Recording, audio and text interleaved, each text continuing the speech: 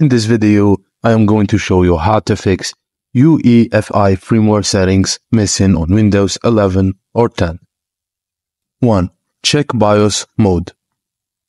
Right-click on the Start Me button, click Run, and then type msinfo32 and click OK. In the System Information window, locate the BIOS mode entry.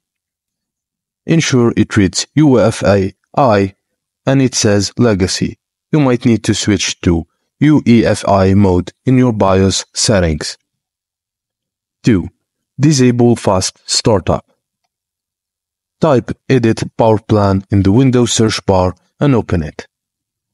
Click on Power Options. Select Choose what the power buttons do.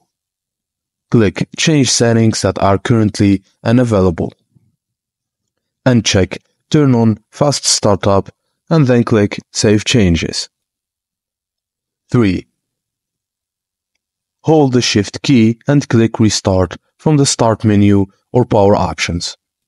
Your PC will boot to a blue screen with options, navigate through Troubleshoot, Advanced Options, UEFI firmware settings, and then click on Restart to boot into your UEFI BIOS.